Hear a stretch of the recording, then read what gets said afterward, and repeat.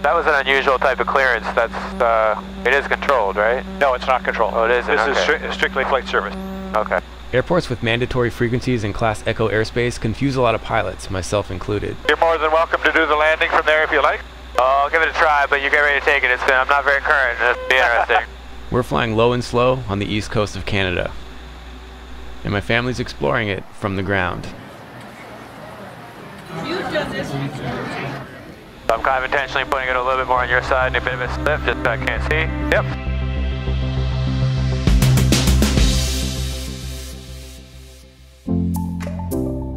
Yep. Prince Edward Island is a beautiful part of Canada.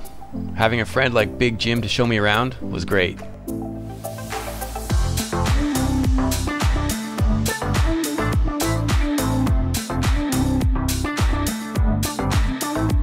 Jim's company Great Hobbies has allowed him to pursue his love of flying.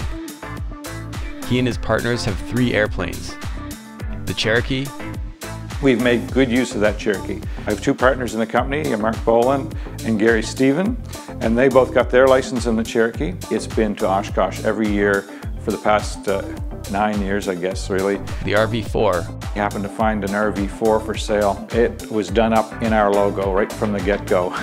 Our logo is a sky blue with a white line and teal to bottom, and it had markings on this RV4 that was identical to our logo. We couldn't have painted it better ourselves. and the Citabria. 1973 7ECA Citabria. It's 115 horsepower. We purchased that out of St. John, New Brunswick, and brought it home. There's five of us. It's sort of the high wing of the uh, of the stable, and uh, the, the low and slow, a beautiful, calm evening around Prince Edward Island, and it's a it's a great ride.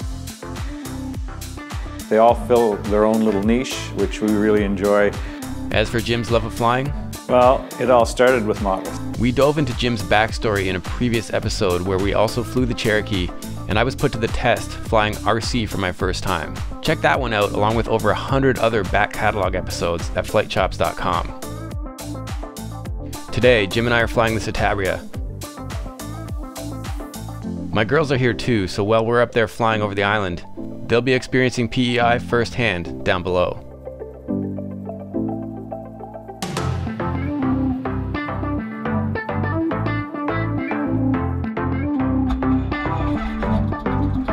Back one, two, you got it? There we go. Yep. This and the RV are the only tailwheel planes you fly? I mean, I've flown, uh, of course, the seven before, the eight before, and the uh, Super Cub. So you did your tailwheel endorsement on the Super Cub, yeah? Yes, on the Super Cub. That's right. Do you find this one a lot more forgiving than the Super Cub? It's hard to tell because it's so long since I've done the Super Cub. Several years. There was a, quite a bit of spacing in between. The entire process of my initial tailwheel training in a Super Cub is also available at flightchops.com if you missed that. Charlottetown Radio, Charlie Foxtrot, Foxtrot, Quebec, Kilo, Apron 2. They control Sydney from here as well, or they are the flight service center for Sydney. Wow. Remote. The airspace here is unique. It's not a control tower or a unicom, but a radio operator from flight service on the mandatory frequency, offering advisories to VFR pilots. But from an IFR standpoint, it is controlled. Foxtrot, Foxtrot, Quebec Kilo, Charlottetown, ready to again. If you have questions or better ways to explain how flight service and mandatory frequencies work in Class Echo airports like this, please comment below. This is not something that I've got much experience with, so it was interesting to see how Jim worked with the specialist. Yes, good morning. Two souls aboard for a local flight. Probably won't be all that high. Uh, just looking for the latest uh, advisory. Foxtrot, Quebec, Kilo. Fox Fox, Quebec Kilo, Roger. Preferred runway 03, wind 340 at 3, altimeter 3005. Okay, we checked the comments. We'll taxi for position, uh, take Alpha to position 03 for departure. Foxtrot, Quebec, Kilo. Roger, runway 03, in what direction of flight will you be headed for? Uh, we'll head up to the North Shore from here and then probably uh, westerly at that point. Fox, Quebec, Kilo. Roger, and your approximate altitude? Uh, we'll put you three and below uh, for the endurance of the flight. And uh, do you have a squawk for us? We, we have mode A, but probably not C. C may be intermittent, uh, Fox Quebec Kilo. Roger, you can squawk 1215. 1215 on the squawk, Fox Quebec Kilo. That was an unusual type of clearance. That's, uh, it is controlled, right? No, it's not controlled. Oh, it isn't? This is stri- strictly flight service. Okay. Boy, the wind is varying. Look at go around. like he reported it favoring 03. It, mind you, it's three knots, so it, it's irrelevant, but yeah. All set to go back there? Yes, sir. Okay. And Fox Quebec Kilo is on the roll 03.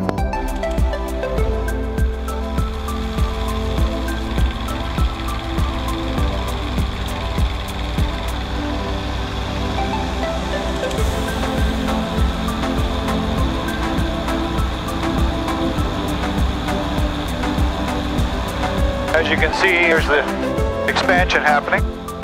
Why the X's got all those fluffy things on them? Are they like sandbags or something? I think so. Well, this is a pretty awesome way to see PEI. It is a beautiful way to see PEI, isn't it? Yeah, it's a very nice uh, place to look at from the air for sure. Very pastoral. Did you guys get sick of people asking you where Green Gables is? Uh, not really. We'll actually go by there. We'll, that's where we'll head. Go westerly. Once we hit the North Shore, we'll go westerly and follow along over there. And Fox Quebec Kilo is uh, clear of the circuit. Fox Quebec Kilo, roger. What are those sand dunes over there to the right? That is Tracadie Bay, actually. You can see there's an opening now, so that's actually an island now where all the dunes are. At one time, that was strictly peninsula. Then three or four years ago, a storm came in and opened up Wow. where it was fairly flat. And the change in patterns, eh? Everything just shifts.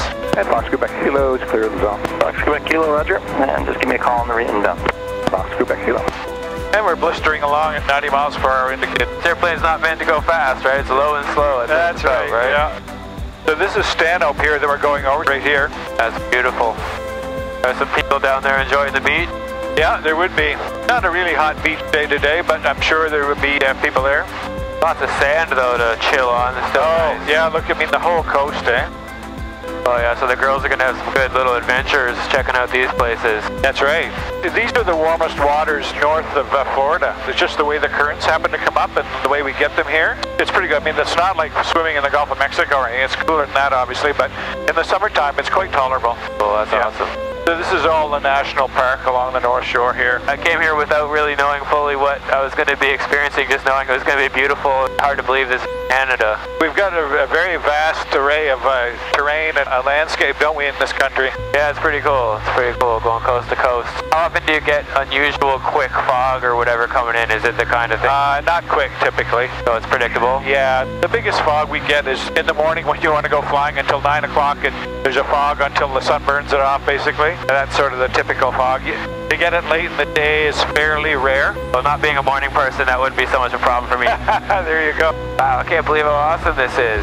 Some nice uh, red cliffs here. There's a typical PEI uh, uh, cliff shoreline. We're on our way to Cavendish, which is where Green Gables is. That's up this way, so We flew over Green Gables. It's one of the most famous parts of the island, of course, Green Gables. A lot of people seem to know about Green Gables. They've seen the movie, they've come to see the play. Green Gables, you can see the golf course, and there's a green roofed house, and that's Green Gables. That's the location, eh? That's the house. Yeah, that's the, the inspiration for the story. So this peninsula down below to our right here, the tide obviously goes right over that because you can see how it's kind of... Yeah, there's times in a storm you'll get water wash up over that. You can see how quickly it drops off, Yeah, that's amazing. and then you get an area that's almost all sandbar. You can almost walk across the rest of it. Got lots of people swimming down there, eh? Yeah, there's a few there. See? See, I guess, I guess that's like really fertile soil, right? Is that like why it's so red? Yeah, the uh, the red is actually from the iron that's in the soil. And it rusts, and that's what it's left with. So there's a fairly high iron content. Wow, okay, I did not know that. That's cool. This is beautiful. This is the River Clyde here. It's a, it's a beautiful area of the island. The central part of Queens County here is all very rolling hills. Are all these things in the water like lobster traps or Southbound something? radio, this is That Cessna is 337. mussel. They're all hung on strings, and they grow on the uh, on the strings. Yeah. You want to take control for a little while? Sure, yeah, okay. You have Uh, to land on control? runway I have uh, control. 21, uh, we'll join uh, left. Uh, Yeah, you've got everything throttle and the whole works back there. So Roger, runway 21, and Do as you you're please. inbound from where? I don't need to change the power though, right? Just keep where it's at. you're at 2400 at the moment. Of course, you gave it to me right when it was turbulence. I don't know what's me or what's the plane, but I know. No, I know that's a bit of turbulence here. So. that's good. It makes it all work. Golf Bravo Hotel Charlie, Charlottetown, Rick. This is the New Glasgow Lobster Suppers. Now, Sterling, who you met this morning, he's one of the partners in that. We may very well want to go there for it is sort of a very quintessential lobster dinner. It's fantastic.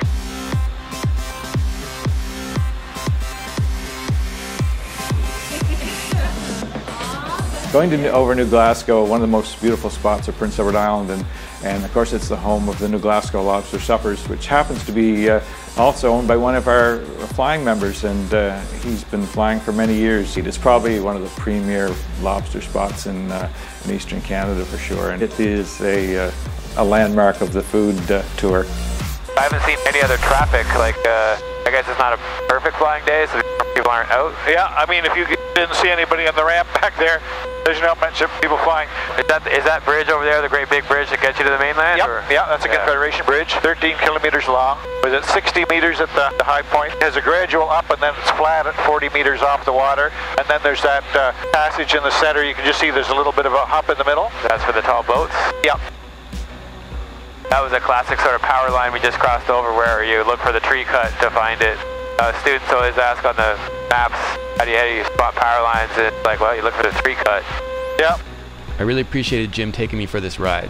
I love any excuse to get up. Especially in this thing, it's such a great, perfect thing to use to go see the island. Exactly. Yep. Uh, Charlottetown Radio, Charlie Foxtrot, Foxtrot, Quebec Kilo. Fox Fox Quebec Kilo, Charlottetown Radio.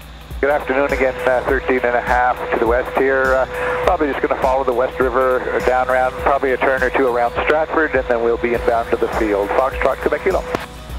Fox Fox Quebec Kilo, Roger. No other reported traffic for you. Report uh, inbound from Stratford area. We'll uh, report inbound. Fox Quebec Kilo.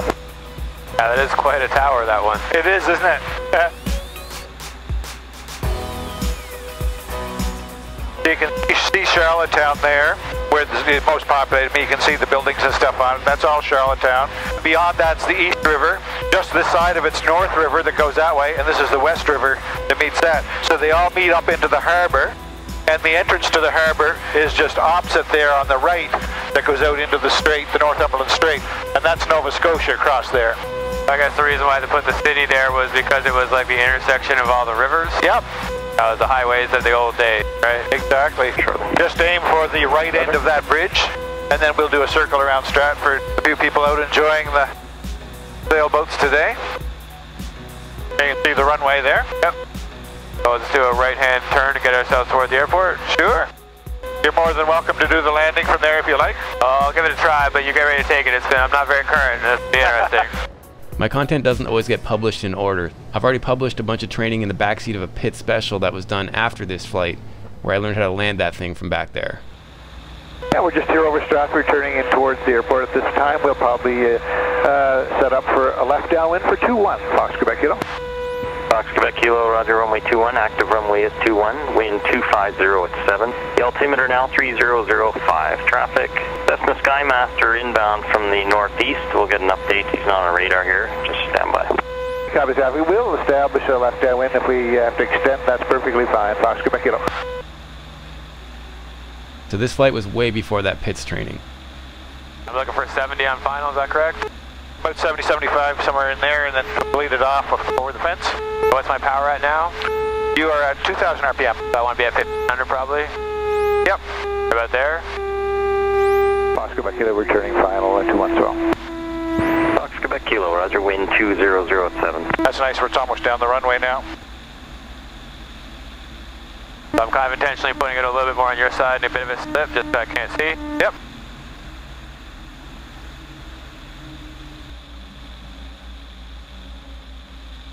You want me three pointed or wheelie? Whatever you're comfortable with.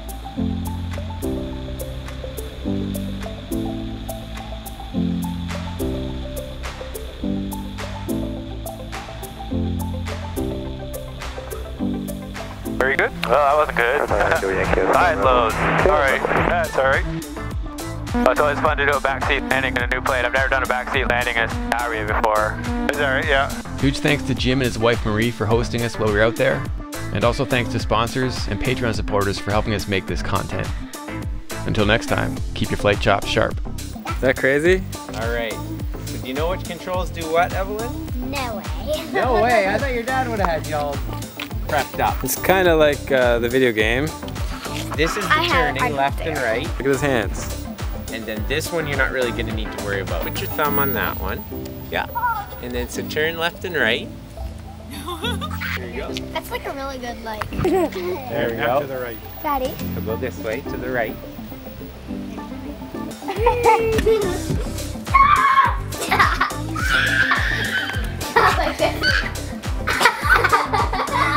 It's funny, crazy, and weird, and funny.